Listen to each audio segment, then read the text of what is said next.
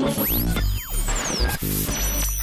We just got word from the Knights organization that they traded their first overall pick, 11th pick, to the Long Beach Kings for their uh, fourth and fifth picks this season, along with a first round pick for their next uh, for the next season.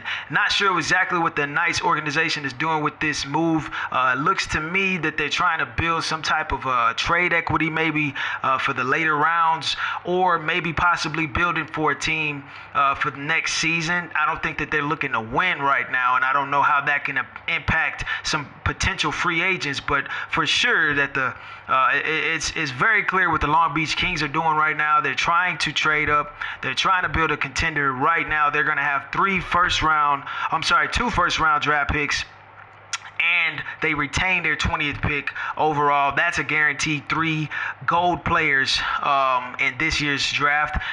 I, am not sure. I, I, would like to know what you guys think here in the comment section. Please let me know what do you think about this trade. How do you feel about it um, as we near closer to the uh, draft coming on February 19th.